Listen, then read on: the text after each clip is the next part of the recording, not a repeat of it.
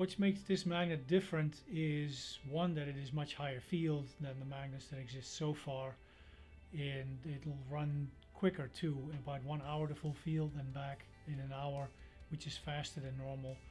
And another thing that makes it special is that there's a large fraction of high temperature superconductors uh, in this magnet whereas the previous magnets have been low temperature superconductors only. It, it does operate at low temperature taking advantage of the special properties of high temperature superconductors there to create higher magnetic field.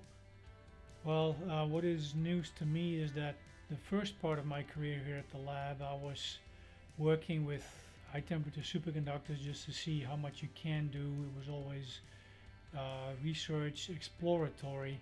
The last eight years, eight years, yes, almost eight, it'll be eight years in September, have been focused on building an actual tool, a magnet that will see use for hopefully some 20 years rather than just a one-time demonstration.